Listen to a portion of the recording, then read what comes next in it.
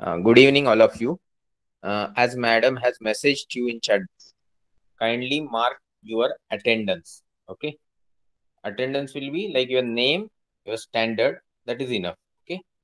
So just put your name, standard. You have already told, correct? Okay. So go accordingly. Now we will start immediately with our introductory session. I'll brief you what is our intention in starting this type of class. Uh, I hope you all are comfortable with English. So we will continue with English, Hindi and Marathi.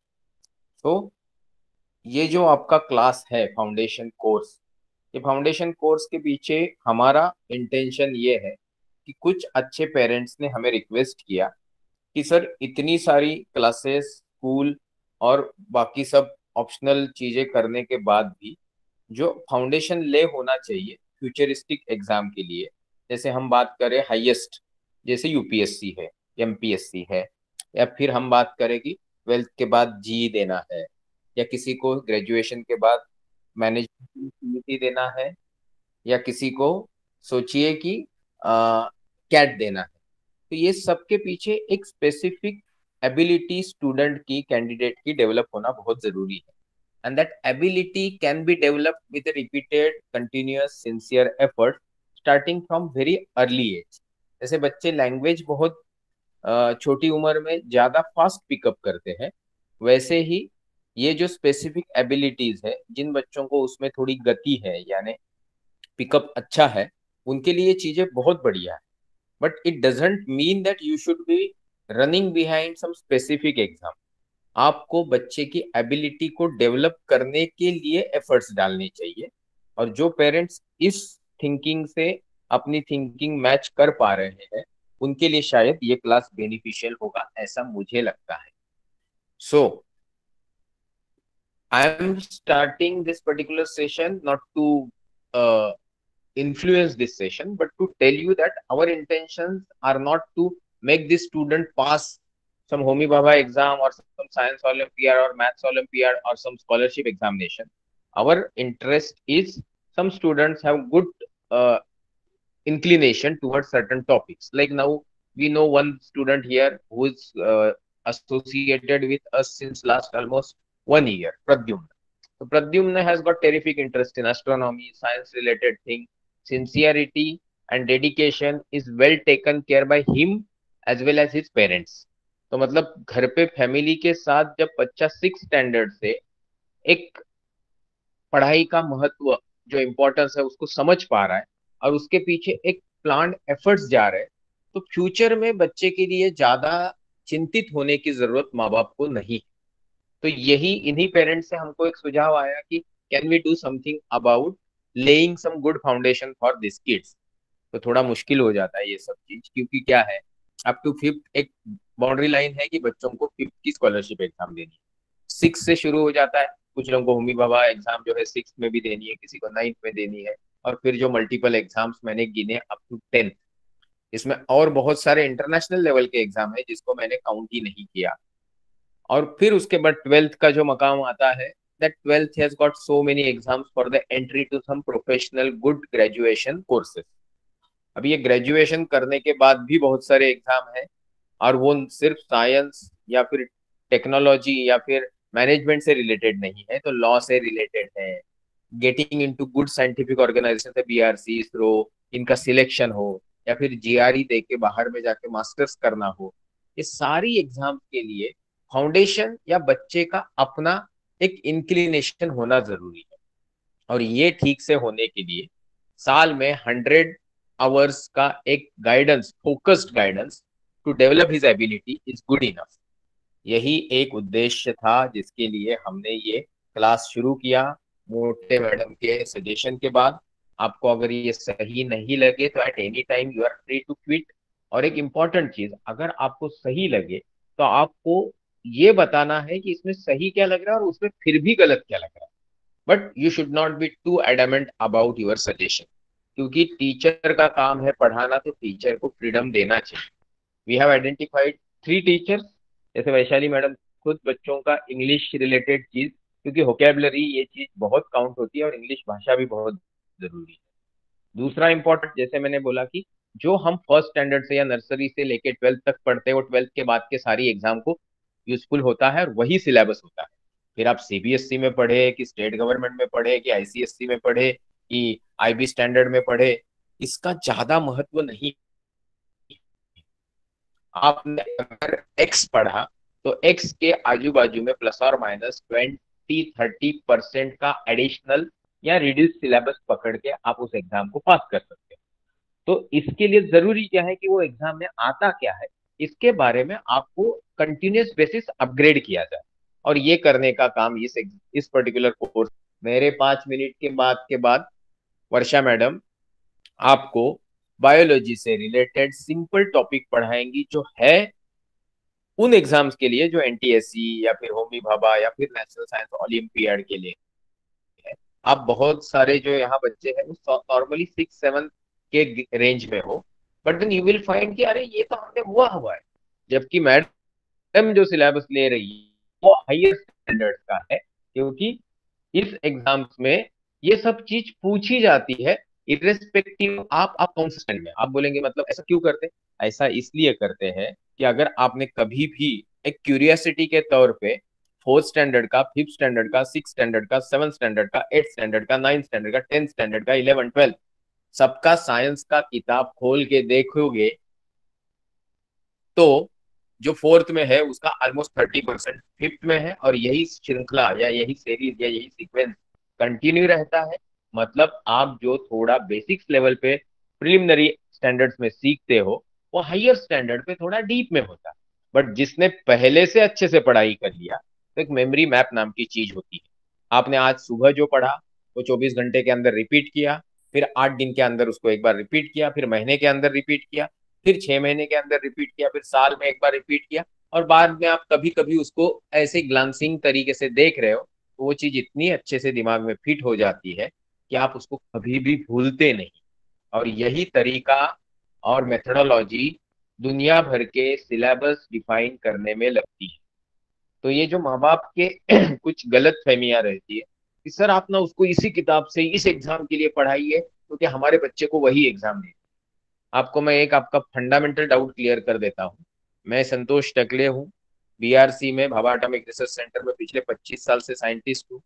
देश भर में तीन, साढ़े तीन हज़ार से ज़्यादा lecture दे चुका हूँ।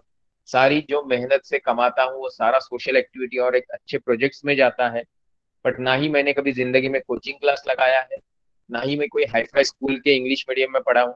मैं जिला परिषद के स्कूल में पढ़ा हूँ, फिर मराठी मीडियम में पढ़ा, फिर एक सिंपल से कॉलेज में बारहवीं किया, फिर वहाँ से इंजीनियरिंग के लिए एक अच्छे सिंपल गाँव वाले कॉलेज में चला गया, अच्छे मार्क्स होने के बावजूद, ताकि फ़ीस का लोड मम्मी डैडी पे ना आए।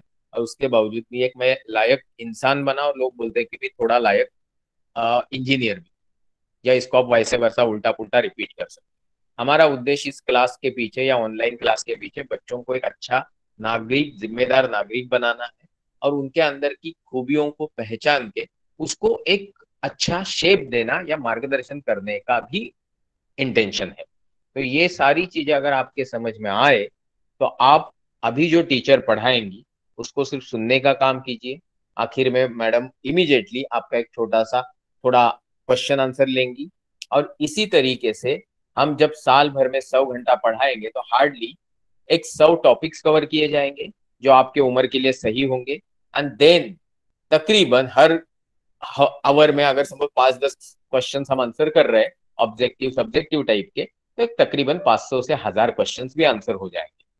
ये अगर आप इंटरनेट से कंपेयर करेंगे तो इंटरनेट महासागर है ज्ञान का पर छोटे बच्चों को या आप जैसे पेरेंट्स को समय की कमी के कारण वो ढूंढना मुश्किल हो जाता है। तो ढूँढने में एक आसानी या मार्गदर्शन या एक कन्वर्ज पैटर्न देने का काम हमारे टीचर और हमारी मेथोडोलॉजी करेगी। अगर ये चीज़ आपके समझ में आ रही है तो आप बच्चे को हमारे क्लास में इनरोल कर सकते हैं।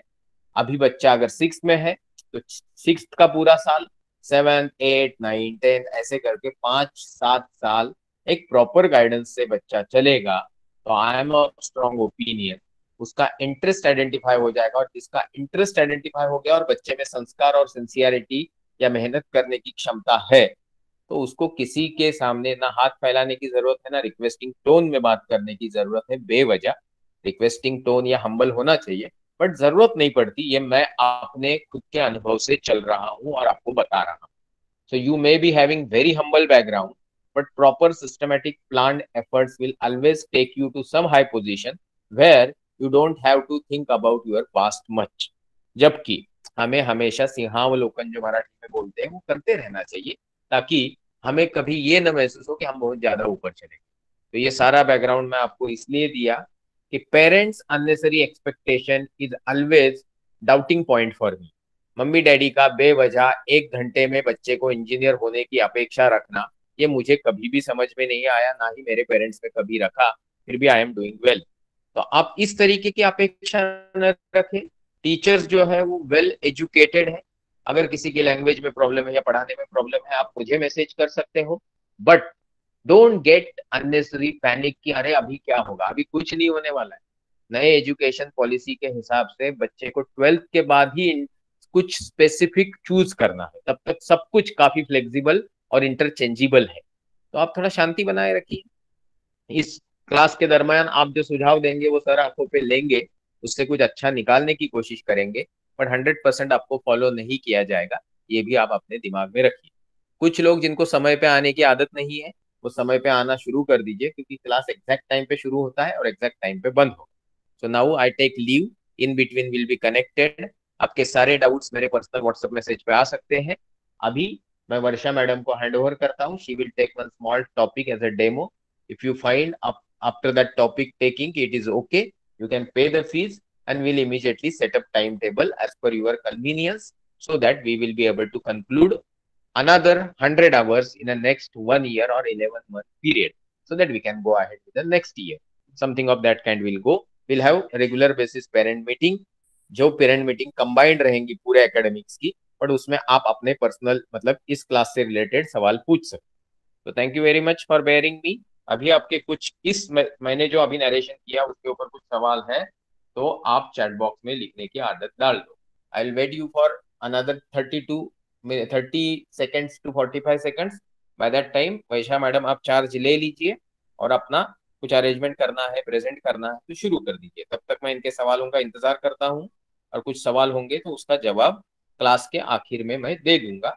आप अपना शुरू कर दीजिए okay thank you very much parents student and madam please continue Varsha madam. Okay thank you sir hello everyone first of all let me know is my voice audible to you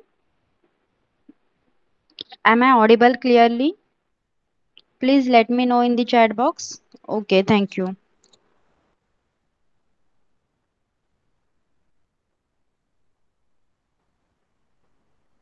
Okay.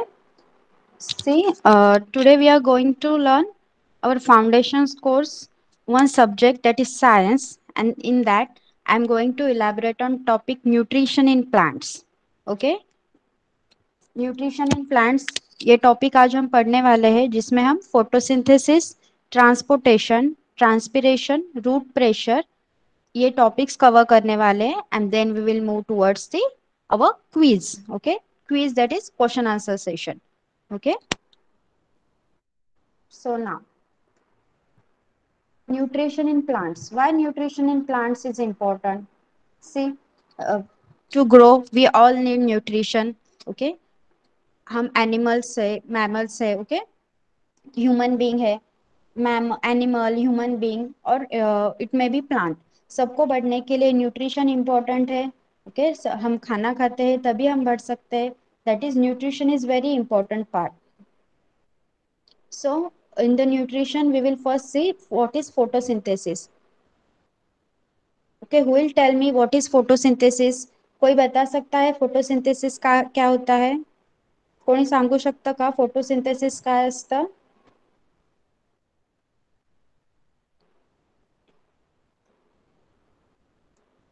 if anyone knows please write your name in the chat box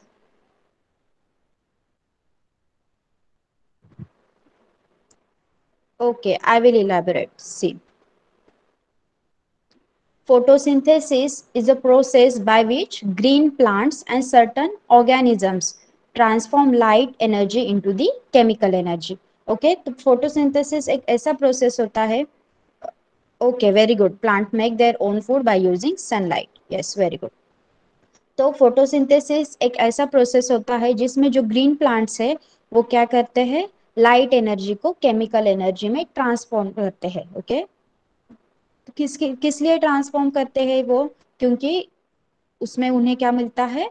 वो अपना खुद का खाना खुद तैयार करते हैं okay photosynthesis process by which plants make their own food okay during photosynthesis in green plants light energy is captured and use to convert water carbon dioxide and minerals into oxygen energy rich organic compound देखिए photosynthesis में क्या होता है? Photosynthesis ही process mostly green plants मध्ये असते हैं okay? Green प्लांट्समध्ये ज्याला आपण मराठीत प्रकाश संश्लेषण म्हणतो ओके? प्रकाश संश्लेषणाची क्रिया ही हिरव्या प्लांट्समध्ये झाडांमध्ये घडून येते. त्यामध्ये काय होतं? लाइट एनर्जी सूर्याकडून एनर्जी येणारी जी एनर्जी असते तिला कॅप्चर केलं जातं आणि तिला पाणी वॉटर आणि कार्बन डायऑक्साईडमध्ये कन्वर्ट केलं जातं. आणि जे मिनरल्स आहेत त्यांना ऑक्सिजन आणि एनर्जी रिच ऑर्गॅनिक कंपाऊंडमध्ये कंट्रोल कन्वर्ट केलं जातं okay? See process of photosynthesis actually involves numerous reactions catalyzed by enzymes. बघा, आतापर्यंत आपण फोटोसिंथेसिस बद्दल एकच डेफिनेशन शिकत आलेलो की plants make their own food by using sunlight okay काय माहिती होतं आपल्याला की सनलाइट यूज़ करून जे ग्रीन प्लांट्स आहेत, ते स्वतःचं अन्न स्वतः बनवतात. सनलाइट यूज़ करके जो ग्रीन प्लांट्स है वो खुद का खाना खुद बनाते हैं. लेकिन कैसे खाना बनाते हैं वो लोग? हमारे जैसे खाना बनाते हैं क्या? नहीं। तो इसके लिए कुछ प्रोसेस आहे तर या एक्झामसाठी या सगळ्या एक्झामच्या प्रिपरेशनसाठी तुम्हाला त्या प्रोसेस आहेत त्या डिटेलमध्ये शिकायला लागतील ओके आता तुम्हाला कळेल की आपल्या सिलेबसमध्ये कसा चेंज झालेला आहे बघा. आतापर्यंत तुम्ही फोटोसिंथेसिसची फक्त एक एक तुम्हाला फक्त डेफिनेशन माहिती होती की अशा अशा प्रकारे प्लांट्स आपलं अन्न तयार करतात. पण what is the actual process we will see see Process of photosynthesis actually involves numerous reactions catalyzed by enzymes. What are enzymes? Enzymes are organic catalyst. Okay? बघा फोटोसिंथेसिस जी प्रोसेस असते त्यामध्ये त्यामध्ये वेगवेगळ्या रिॲक्शन्स होतात आणि त्या कोण कंट्रोल करतं प्लांट्समध्ये जे एन्झाईम्स असतात ते कंट्रोल करतात these reactions occur in two stages इथेच आपल्याला समजतंय फरक बघा या रिॲक्शनमध्ये फोटोसिंथेसिसमध्ये दोन स्टेज असतात. First is light stage and second is dark stage okay the light stage consisting of photochemical that is light capturing reaction light stage वर्डच आपल्याला असं डिनोट करून देतं की लाइट स्टेजमध्ये काय होणार? जे सनलाईट आहे ते प्लांट कॅप्चर करणार okay and the dark stage comprising chemical reaction control by enzyme आणि डार्क स्टेज ही कधी असणार? लाइट स्टेजच्या नंतर बरोबर? फर्स्ट ऑफ ऑल सनलाईट आहे ती प्लांट प्लांटचे लिव्स काय करणार? सनलाईट ऍब्झॉर्ब करणार आणि त्यामध्ये लाइट कॅप्चरिंग रिॲक्शन चालू होणार. आणि आफ्टर दॅट ऍब्झॉर्प्शन त्या प्लांटमध्ये डार्क स्टेज चालू होणार ज्यामध्ये केमिकल रिॲक्शन्स ज्या कोण कंट्रोल करतं? एन्झाईम्स ओके फोटोसिंथेसिस समजलेला आहे तुम्हाला? Have you understood about photosynthesis tell me in the chat box if you have any doubt okay now now we will see what is transportation okay tell me the common meaning of transportation ट्रान्सपोर्टेशनचं common meaning सांगा मला मराठीत आपण ट्रान्सपोर्टेशनला काय म्हणणार सांगा मला कोण सांगणार please write your name in the chat box you can tell in your own language okay transportation is moving movement of one thing from another okay one place from another place movement of a thing from one place to another place okay yes परिवहन very good see transportation म्हणजे काय असतं एक एखादी वस्तू एका ठिकाणावरून दुसऱ्या ठिकाणी जाणे इज ट्रान्सपोर्टेशन बरोबर आणि त्यासाठी ट्रान्सपोर्टेशनसाठी आपण काही रूट्स पण वापरतो. बरोबर? आपल्याला एका ठिकाणाहून दुसऱ्या ठिकाणी जाण्यासाठी आपण काही व्हेकल्स वगैरे वापरतो. हे सगळं तर तुम्ही के जीला असणार असताना शिकलेला आहात.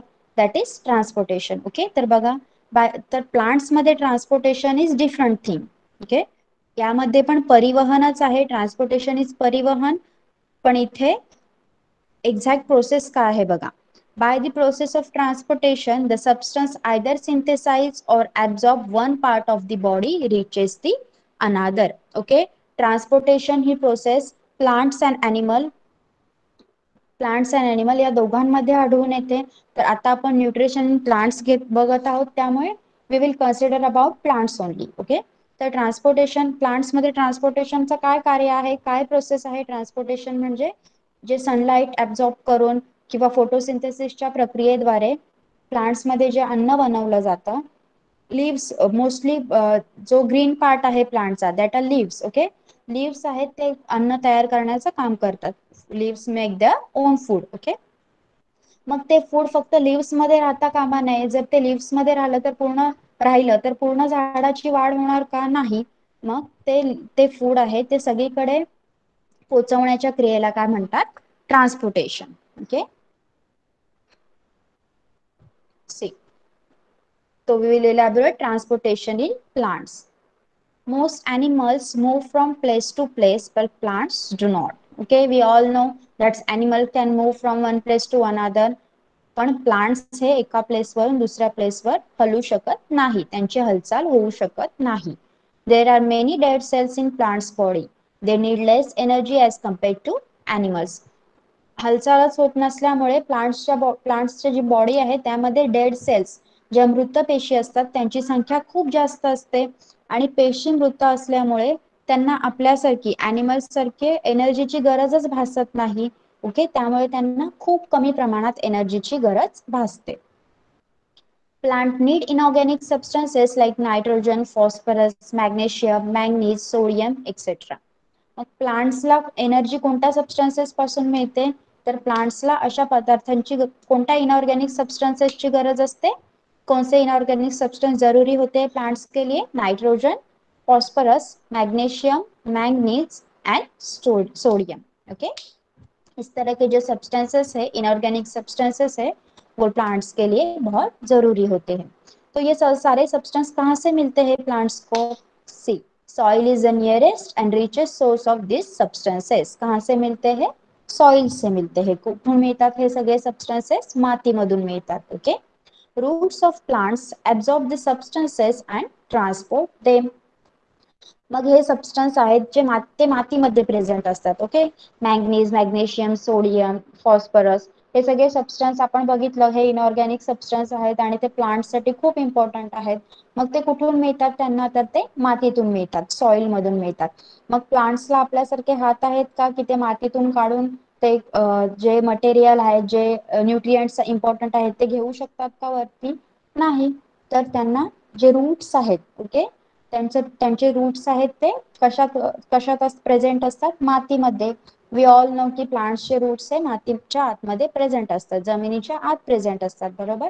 मग ते सॉइल मधून हे न्यूट्रिएंट्स ऍब्झॉर्ब करण्याचं काम आणि ते झाडाच्या पूर्ण सगळ्या पार्ट्सला पोहोचवण्याचं काम कोण करतं? Roots okay roots absorb the minerals from the soil roots of plants absorb the substances and transport them there are specific types of tissues to perform this function मग हे सगळं कार्य करण्यासाठी काही टिश्यूज म्हणजे काही उती या प्रेझेंट असतात प्लांट्स बॉडीमध्ये okay xylem conducts the water whereas a phloem conducts the food okay xylem and phloem या दोन प्रकारच्या टिश्यू आहेत. लक्षात द्याय लक्ष द्यायचं आहे सगळ्यांनी?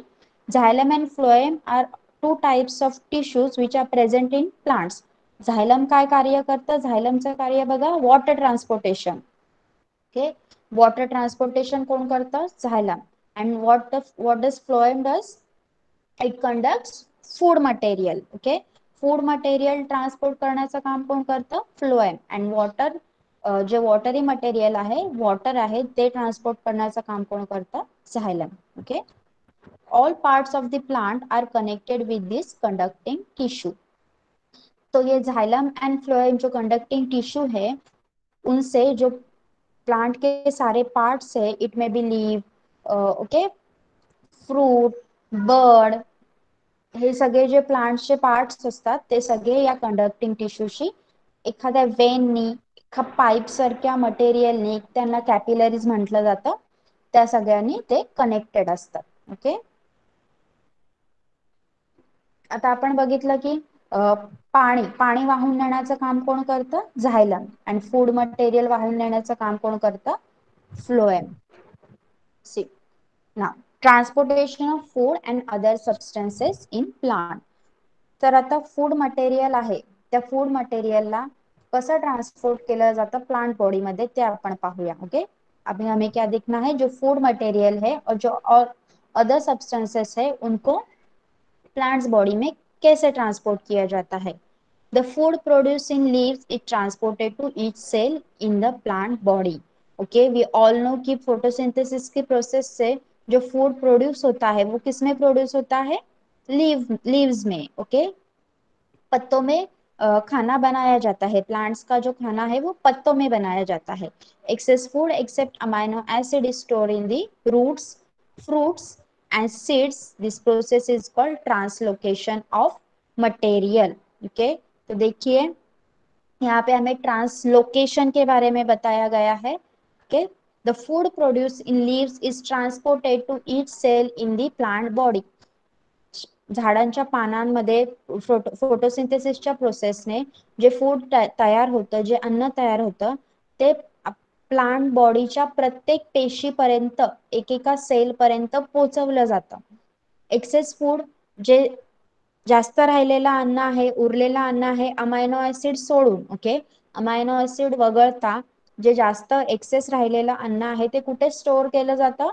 झाडाच्या रूट्समध्ये मुळांमध्ये फ्रुट्समध्ये फळांमध्ये अँड सीड्समध्ये बियांमध्ये.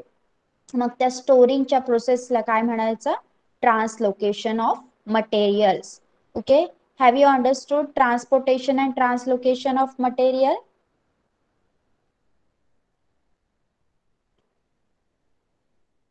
okay tell me have you understood transportation and translocation of material okay okay see it is carried out in both the upward and the downward direction by the phloem जो मटेरियल स्टोर किया हुआ है food material store किया हुआ है तो वो पेड पे पेड के अपवर्ड अँड डाऊनवर्ड दोन्ही वरच्या खालच्या बाजूला झाडाच्या खालच्या दोन्ही बाजूंना दोन्ही डायरेक्शनला दोन्ही दिशांना पोचवलं जातं. कोण पोचवतं? कोणते टिश्यू फूड पोचवण्याचं काम करतं? Phloem okay translocation of materials is not a simple physical process it requires energy तर सिंपल सिंपल थिंकिंग आहे बघा. आपण आपल्याला हातपाय आहेत म्हणून आपण आपल्याला पाहिजे ते अन्न खाऊ शकतो. एका ठिकाणावर दुसऱ्या ठिकाणी जाऊ शकतो आणि त्यासाठी आपल्याला एनर्जीची सुद्धा गरज लागते. मग झाडांमध्ये वनस्पतींमध्ये ट्रान्सलोकेशन मटेरियलचं जे ट्रान्सलोकेशन होतं ती एक सिंपल प्रोसेस नाहीये. त्यांच्याकडे तर आपल्यासारखे हातपाय पण नाही आहेत ओके त्यामुळे त्यामध्ये काय आहे ती एक कॉम्प्लिकेटेड फिजिकल प्रोसेस आहे. भौतिक प्रक्रिया आहे पण ती सिंपल नाहीये. का सिंपल नाहीये? तिला होण्यासाठी एनर्जीची गरज असते ओके ती प्रोसेस कॅरी आउट होण्यासाठी ती प्रोसेस पूर्ण होण्यासाठी तिला एनर्जीची गरज असते. This energy is obtain from ATP मग प्लांट्सला ही एनर्जी कुठून मिळते?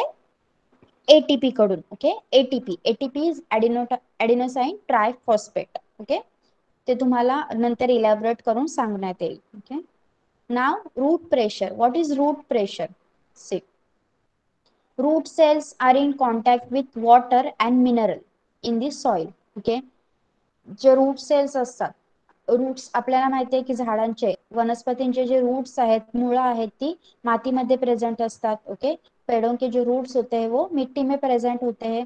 तो वो किसके कॉन्टॅक्ट में रहते हैं? मातीमध्ये जे पाणी आणि खनिजे असतात ओके मातीमध्ये जे वॉटर अँड मिनरल मॉलिक्युल्स असतात या रूट सेल्स असतात त्या नेहमी त्यांच्या कॉन्टॅक्टमध्ये असतात.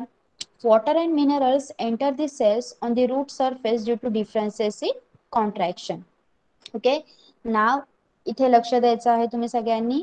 रूट सरफेस रूट सरफेसवर ज्या सेल्स असतात त्यामध्ये डायरेक्ट वॉटर अँड मिनरल जाऊ शकतात का? नाही. तर काय होतं बघा त्यांच्या कॉन्ट्रॅक्शनमध्ये डिफरन्सेस होतात. म्हणजे काय? As a result see cells become turgid and continuously exert a pressure pressure on adjacent cell see root surface root सरफेसवर जे काही छोटे छोटे ओपनिंग असतात त्यामधून वॉटर आणि मिनरल मॉलिक्यूल आतमध्ये रूट्सच्या आतमध्ये जायला सुरुवात होते. आणि ते मॉलिक्यूल आतमध्ये जात असल्यामुळे ते एकमेकांना स्वतःला जागा करण्यासाठी आपण पण गर्दीत तेच करतो बरोबर? आपल्याला स्वतःला जागा पाहिजे असते त्यामुळे आपण आपण आजूबाजूच्या आजूबाजूच्या आपल्या लोकांना धक्का देऊन पुढे जातो की नाही तसंच हे मॉलिक्यूल करत असतात बघा. का होतं? ते एकमेकांना ढकलून ते मॉलिक्युल्स एकमेकांना ढकलून स्वतःला पुढे जाण्यासाठी दुसऱ्या सेल्स आहेत त्यांच्यावर प्रेशर प्रेशर एक्झर्ट करतात ओके त्यामुळे ज्या सेल्स आहेत त्यांच्यामध्ये खूप गर्दी होऊन त्या फुगतात टर्जिड होतात टणक होतात okay on adjacent cell to move forward this pressure is called as root pressure मग त्या त्या सेल्स काय होतात? फुगतात टर्जिड होतात. मग त्यामध्ये एक प्रकारचं प्रेशर निर्माण होतं. जे मॉलिक्युल्स आहेत ते पुढे जाण्यासाठी ज्या त्यांच्या बाजूच्या ऍडजस्टंट मॉलिक्युलला धक्का देतात. त्यामुळे काय होतं? सेल आहेत त्या टर्जिड होतात आणि तो त्यामध्येच काय तयार होतो? Root pressure okay? त्या सेल्सला त्या मॉलिक्युल्सला पुढे जाण्यासाठी एकमेकांवर जो प्रेशर प्रेशर दिला जातो फॉरवर्ड होण्यासाठी ते मॉलिक्युल्स पुढे फॉरवर्ड होण्यासाठी जो प्रेशर दिला जातो त्यालाच रूट प्रेशर असं म्हणतात okay? Now we will see what is transpiration see transpiration बघा इथे प्लांट तुम्हाला एक प्लांट दिला आहे आणि त्याचा बघा जे वॉटर आहे प्लांट प्लांट जे वॉटर वॉटर मॉलिक्युल मातीतून ऍब्झॉर्ब करतात ओके ते इव्हॅपोरेट होतात. त्या प्रोसेसला ट्रान्सपिरेशन म्हणायचं. इव्हॅपोरेट इव्हॅपोरेट होतात म्हणजे उडून जातात. तर ते कुठून इव्हॅपोरेट होतात? पानाच्या सरफेस वरूनच इव्हॅपोरेट होतात. पानाचे सरफेस आहेत त्याच्यावर छोटे छोटे ओपनिंग असतात. ओके? बघा, इथे इथे सगळ्यांना डायग्राम दिसत आहे. See if you if you have able to see the diagram please tell me in the chat box दिख रहा है सबको डायग्राम सगळ्यांना डायग्राम दिसत आहे का? Please tell me okay okay see तर इथे प्लांटची एक डायग्राम दिलेली आहे, ज्यामध्ये तुम्हाला ट्रान्सपिरेशन प्रोसेस दाखवलेली आहे बघा. माती दाखवलेली आहे खाली सॉइल आहे. सॉइलमध्ये काय दाखवलेलं आहे बघा वॉटर ऍब्झॉर्ब बाय रूट्स जे रूट्स आहेत ते काय करतात? पाण्याचं शोषण करून घेतात. वॉटर ऍब्झॉर्ब करून घेतात. मग हे वॉटर ट्रॅव्हल होतं. प्लांट्स मधून कोण ट्रॅव्हल करतात? झायलम ओके झायलम टिश्यू असतात. त्या प्लांटमध्ये वॉटर ट्रॅव्हल करतात. पण सूर्याच्या उष्णतेमुळे काय होतं? बघा आपल्यालाच खूप ऊन लागल्यामुळे आपल्या आपलं पण डिहायड्रेशन होतं की नाही? डिहायड्रेशन इज वॉट आपल्या बॉडीमधून पाणी कमी होत जातं. ओके त्याला डिहायड्रेशन म्हणतात. तर प्लांट्समध्ये पण ते डिहायड्रेशन होतं त्याला ट्रान्सपिरेशन म्हणतात. मग ते ट्रान्सपिरेशन कशाच्या थ्रू होतं? बघा water evaporate from the leaf surface सूर्याच्या उष्णतेमुळे काय होतं? पानांच्या सरफेसवर पानाच्या सरफेसवरून वॉटर असतं ते इव्हॅपोरेट होऊन जातं. तर कसं काय इव्हॅपोरेट होणार? काय आहे त्यासाठी रिस्पॉन्सिबल बघा. इथे एक लिफ्टची फक्त एका लिफ्टची डायग्राम दिलेली आहे तिथे लक्ष द्या. They have return the small opening on the underside underside of the leaves are called stomata okay छोटे छोटे ओपनिंग दिसत आहेत तुम्हाला या लीफवर या पानावर छोटे छोटे ओपनिंग दिसत आहेत. त्यांना म्हणायचं स्टोमॅटा स्टोमॅ स्टोमॅटा हे छोटे छोटे ओपनिंग असतात. छोटी छोटी छिद्रे असतात प्लांट्स वर. त्याच्यातून काय होतं? प्लांट प्लांटमध्ये जे पाणी आहे त्याचं इव्हॅपोरेशन होतं. त्यालाच ट्रान्सपिरेशन म्हणतात. ओके इथे स्टोमॅटोची डिटेल डायग्राम दिलेली आहे तुम्हाला. मायक्रोस्कोपिक एक्झामिनेशनमध्ये जर तुम्ही मायक्रोस्कोप युज केला आणि तुम्ही लिफ्टचं एक सेक्शन घेऊन त्याला वॉच केलं बघितलं तिथे ओके एक्झामाइन केलं तर स्टोमॅटा अशा प्रकारे दिसतो बघा. एक छोट ओपनिंग असतं. असे भरपूर ओपनिंग असतात प्लांट्स एका प्लांट्सच्या सरफेसवर त्यामधून काय होतं? पाणी बाहेर जातं. ओके? वॉटर गेट्स इव्हॅपोरेट तर ट्रान्सपिरेशनची प्रोसेस काय आहे बघूया आपण. Plants give out water in the form of vapour through the stomata on their leaves okay? पाण्याची काय होते? प्लांट मधील जे पाणी आहे त्याची वाफ होऊन ती स्टोमॅटाच्या द्वारे जे स्टोमॅटा छोटे छोटे ओपनिंग असतात त्याच्याद्वारे लिफ मधून बाहेर पडते. two cells called guard cells are present on the stomata. Stomata वर दोन guard cell present असतात. Transpiration occurs through the stomata. मग transpiration ची जी process असते ट्रान्सपिरेशन म्हणजेच प्लांट बॉडीमधील जे पाणी आहे वॉटर कंटेंट आहे ते कमी होणं ओके प्लांट बॉडीमधलं पाणी इव्हॅपोरेट होऊन जाणं त्या प्रोसेसला ट्रान्सपिरेशन म्हणायचं आणि ते कोण कॅरी आउट करतं stomata water is release into the atmosphere by leave through the process of evaporation मग हे पाणी कुठं जातं? हे पाणी कुठे जातं? ऍटमॉस्फिअरमध्ये वेपरच्या द्वारे रिलीज होतं. As a result water level in the epidermal layer of the leaves decreases okay मग त्याचा परिणाम काय होतो? जी पानाची वरची लेअर आहे एपिडर्मल लेयर आहे त्यावरील त्यामधील जे पाण्याचं कंटेंट आहे पाण्याचं प्रमाण आहे ते कमी होत जातं. Water is brought up to the leaves through the xylem so as to compensate for the loss of water. Okay मग दिवसा काय होतं? सूर्याच्या उष्णतेमुळे हे इव्हॅपोरेशन होतं. इव्हॅपोरेशन झाल्यामुळे स्टोमॅटा ओपन होतात आणि स्टोमॅटामधील स्टोमॅटातून पानांमधील जे पाणी आहे ते इव्हॅपोरेट होऊन जातं. मग एपिडर्मल लेअर आहे पाण्याची सॉरी पानाची एखाद्या लिव्हची जी एपिडर्मल लेअर आहे त्यामधील पाणी खूप कमी होतं. मग ती कमी भरून पण काढली पाहिजे. मग ती कमी कोण भरून काढतं? झायलेम ओके? झायलेम टिश्यू काय करतात? जे पाणी जेवढं पाणी लॉस झालेलं आहे तेवढं पाणी परत पानांना पोचवतात. Transpiration help in absorption of water and minerals and distribution to all part of the plant whereas root pressure perform important role of pushing the water up during the night time okay दिवसा काय होतं? ट्रान्सपिरेशनची process चालू होते. ट्रान्सपिरेशनच्या प्रोसेसमध्ये काय होतं? पाणी आणि मिनरल आहे. यांचा ऍब्झॉर्प्शन होतं. प्लांटच्या सगळ्या पार्टला पाणी आणि मिनरल खनिजे ओके वॉटर अँड मिनरल्स पोचवली जातात. आणि रूट प्रेशरचं काय फंक्शन आहे? रूट प्रेशर काय करतं? प्रेशर एक्झर्ट करून जे पाणी आहे रूट झाडाला आपण पाणी घालतो बरोबर? किंवा जमिनीतील पाणी आहे ते झाडे शोषून घेतात. मग रूट्स काय करतात? रूट प्रेशर काय काम करतं? जे पाणी आहे त्याला वरती पुश करण्याचं ढकलण्याचं काम करतं. कधी करतं हे काम? ड्युरिंग दी नाईट टाइम रात्रीच्या वेळी ते पाणी झायलम टिश्यूद्वारे रूट प्रेशरद्वारे वरती ढकललं जातं आणि झायलम टिश्यू तेच पाणी झाडाच्या प्रत्येक पार्ट पर्यंत पोहोचवतात okay have you understood transpiration process transpiration and root pressure कळलंय का सर्वांना? सबको ट्रांसपिरेशन एंड रूट प्रेशर समझा है क्या?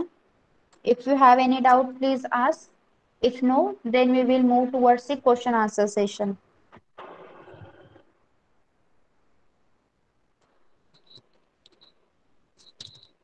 okay. Madam I will disturb you okay. हा एक स्टुडंट लिहितायत की व्हॉइस ब्रेक होतोय पण आम्ही कंटिन्युअसली तुम्हाला ऐकतोय व्हॉइस काही ब्रेक होत नाहीये. ओके तुमचा व्हॉइस एकदम क्लिअर आणि व्यवस्थित येतोय. त्यामुळे अनघा आहे बहुतेक विद्यार्थिनी Anagha you have to check your network okay because all other madam voice ability of this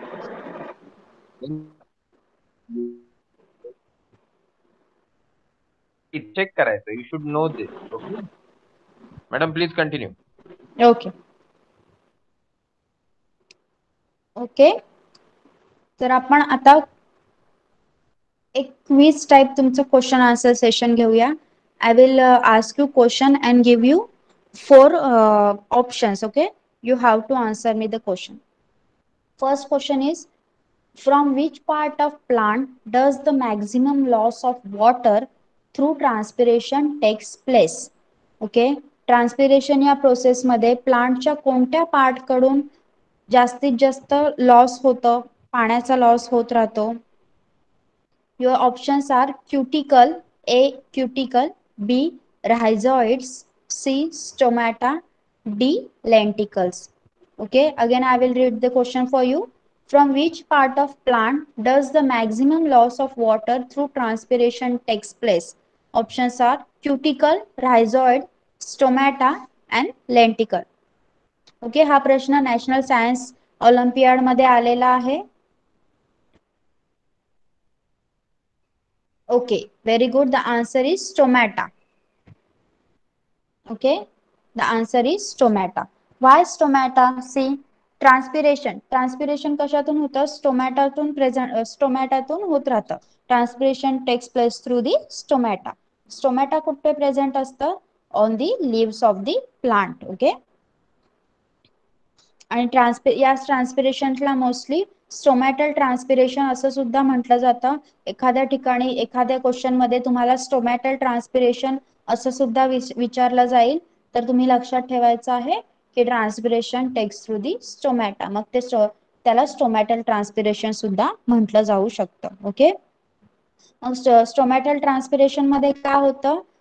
About eighty percent to ninety percent transpiration okay J eighty percent to ninety percent transpiration आहे plant body मधलं. ते mostly stomata through होत राहतं okay second question is identify the plant part that does not help in respiration okay identify the plant part that does not help in respiration आता तुम्ही म्हणाल की ma'am ma'am आपण रेस्पायरेशनबद्दल शिकलो नाही. Then why this question see option जर बघितले तर त्यावरून तुम्हाला कळेल की अशा प्रकारे तुम्हाला क्वेश्चन फिरवून सुद्धा विचारला जाऊ शकतो. ओके ऑप्शन्स बघा त्यावरून तुम्हाला आयडिया येईल की क्वेश्चन इज ट्रान्सपिरेशनचाच क्वेश्चन आहे पण त्याला रेस्पायरेशनशी फक्त रिलेट केलेलं आहे. Okay that question was ask in national science olympiad okay the question is identify the plant part that does not help in respiration प्लांटचा असा पार्ट आयडेंटिफाय करा जो रेस्पायरेशनमध्ये हेल्प करत नाही xylem, stomata leaves root hair okay xylem, stomata leaves root hair will tell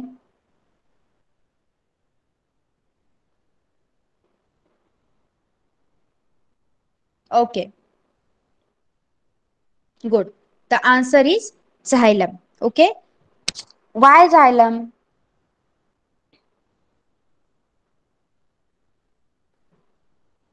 Can anyone tell me why xylem?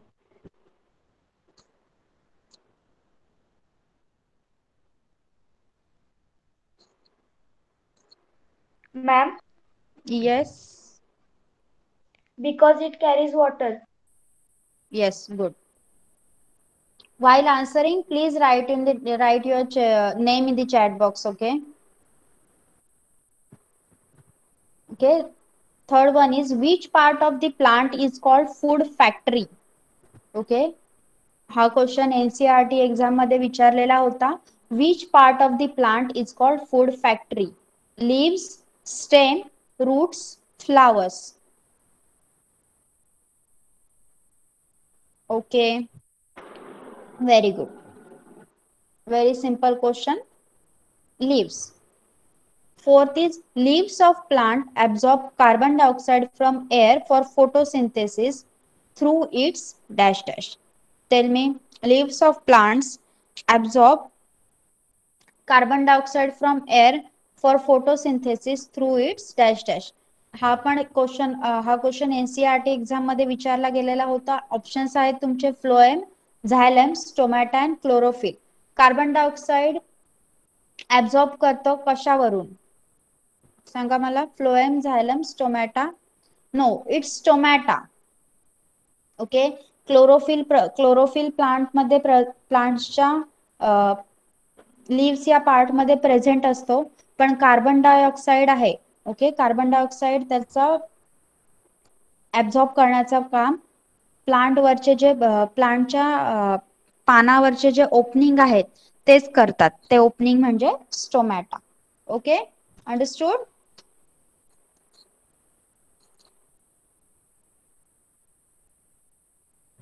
Okay anyone has any doubt कोणाला काही doubt असेल तर please ask me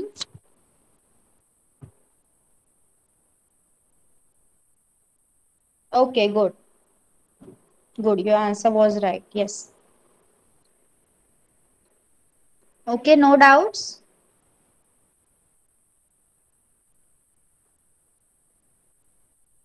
Okay, thank you for patiently listening me and responding by answering the questions.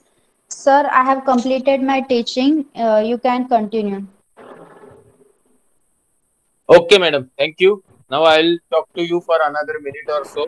सगळ्यांनी शांतपणे ऐका mike बंद ठेवा कोणाला काही डाऊट असेल तर चॅट बॉक्स मध्ये विचारा okay no doubts very good आता मी काहीतरी तुमच्याशी बोलतो सी यू कैन अंडरस्टैंड आज हमने सम टॉपिक चूज किया जो बायोलॉजी मतलब आजकल ऐसा नहीं है साइंस वन साइंस टू पढ़ाया जाता है बच्चों को बट हमारे जमाने में basically it is physics chemistry biology ये जो बायोलॉजी है, ये बहुत वास्ट है और आप लोग बेसिकली ये मैं बच्चों के लिए नहीं पेरेंट्स के लिए बोल रहा हूँ क्योंकि उनको समझ में जल्दी आता है. Up to six seven standard biology और इन्वायरमेंट का बहुत ज़्यादा कंट्रीब्यूशन पढ़ाई में है. तो आप देखेंगे जो भी माइक ऑन है तो ऑफ़ कर दीजिए। मैडम आप mike is on okay sir हाँ तो आप लोगों को स्टूडेंट्स को पेरेंट्स को ये ध्यान देना ज़रूरी है कि जो अपने लाइफ से रिलेटेड है हाइजीन से रिलेटेड है उसके ऊपर यंग एज के बच्चों को बहुत कुछ पढ़ाया जाता है। आपको उसके लिए एक बार नज़र घुमानी ही होगी जो साइंस की किताबें आपकी बच्चों ने अब तक यानी सेवन स्टैंडर्ड तक वो पढ़ने वाले हैं। एंड देन बाद में आप देखोगे ज़्यादा कंट्रीब्यूशन केमिस्ट केमिस्ट्री और फिजिक्स से होने लगता है। और जैसे आप इलेवन ट्वेल्थ में जाते हो तो सेपरेशन होता है। एंड देन द पीपल और student start choosing their field of interest तो आज हमने बायोलॉजी का टॉपिक कवर किया मैडम ने नेशनल ओलंपियाड में किस तरीके से सवाल आता है या एनटीएससी में किस तरीके से आता है। ये मल्टीपल चॉइस एमसीक्यू सब ऑब्जेक्टिव टाइप के क्वेश्चन से बच्चों को बताया। मैडम, सवाल पूछ रही, तभी ही बच्चों ने जवाब दिया, जबकि आपको सबको पता है, आपके बच्चे काफ़ी छोटे हैं। अभी इसी तरीके की चीज़, जो इंजीनियर व्यक्ति है, वो मैथमेटिकल एबिलिटी के बारे में पढ़ाएगा या रीजनिंग एबिलिटी के बारे में पढ़ाएगा तो बच्चों का, आपके स्पेशली जैसे मैं प्रद्युम्न और उनके जो फ्रेंड सर्कल है, उनको जानता हूँ, समझता हूँ तो यू, ये बच्चे काफ़ी इंटेलिजेंट उनको एक गाइडेंस की ज़रूरत है तो मुझे ऐसा लगता है कि आप अपने तरीके से भी हमको प्रॉम्प्ट करके रख सकते हैं कि सर ये टॉपिक होना चाहिए। और क्यों होना चाहिए, ये भी लिख सकते हैं। और उसका जो रिलेटेड सिलेबस है, वो भी भेज सकते हैं। तो जो बच्चों को चीज़ समझ में नहीं आई, वो मैडम कवर करेंगी तो आपको भी उसका बेनिफिट फील होगा। जैसे इनिशियली मोटे मैडम ने कहा था कि why don't you take CBSE syllabus क्योंकि हमारे बच्चे स्टेट बोर्ड के हैं। बट मुझे ये आइडिया थोड़ा ठीक नहीं लगा कि जब आप स्टेट बोर्ड में हो और स्टेट बोर्ड किसी चीज़ से कम नहीं है, जो डिफरेंस है कॉन्सेप्ट का, वो तो आपको सभी समझ में आएगा जब आपसे गो थ्रू करेंगे। आज मैडम ने जो पढ़ाया वो टॉपिक नाइन्थ स्टैंडर्ड का है, जबकि सेवन स्टैंडर्ड के बच्चे पढ़ने के बाद उसको जवाब दे पा रहे थे, क्योंकि कहीं ना कहीं ये थोड़ा बहुत सिक्स सेवंथ में या एट्थ में भी कवर होने वाला है। तो हमारी तरफ़ से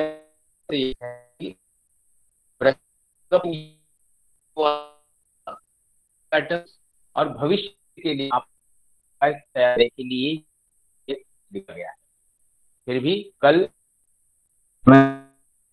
आप मेरे व्हाट्सएप नंबर पे मैसेज करके स्पेसिफिक टाइम में कॉल करके आपके कुछ स्पेसिफिक डाउट्स है तो पूछ सकते हैं। उसके बाद if you feel you can continue with the class and pay the fees तो इसके अलावा हमारी तरफ़ से आज कुछ नहीं है। एक बार आपको ये ठीक लगा होगा, इस तरीके का ओपिनियन आएगा चार पाँच बच्चों से तो हम इमीडिएटली इसे कंटिन्यू करेंगे। आपसे परमिशन लेके कि किस दो दिन हफ़्ते में हमें ये करना है। And normally it will be kept at nine P M only क्योंकि आप लोगों के बच्चों को उस समय कोई एक्टिविटी नहीं होती है। बट आपका ओपिनियन लिया जाएगा। सो so, अभी किसी को कुछ पूछना है तो चैट बॉक्स में लिख दीजिए। नहीं तो आज हम यहीं पे अपना सेशन क्लोज कर देते हैं। तो चैट बॉक्स में अगर कुछ नहीं है sir I would like to answer one question asked by student okay question विचारलेला आहे what are water autotrophs okay autotrophs वो ऑर्गेनिजम्स होते हैं जो अपना खाना खुद बनाते हैं okay autotrophs are organisms who make their own food okay got the answer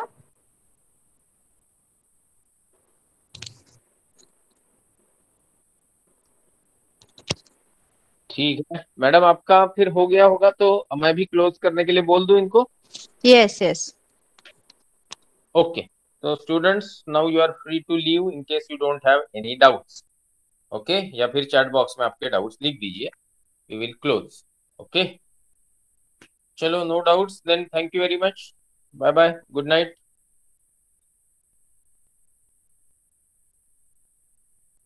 kindly leave the class. I want to say कौन बोलना चाहता है?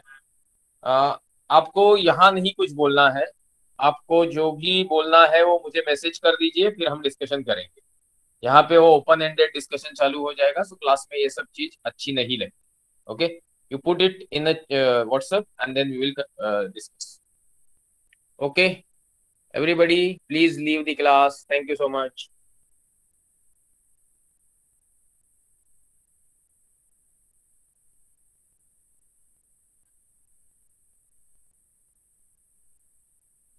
okay bye bye good night चलिए।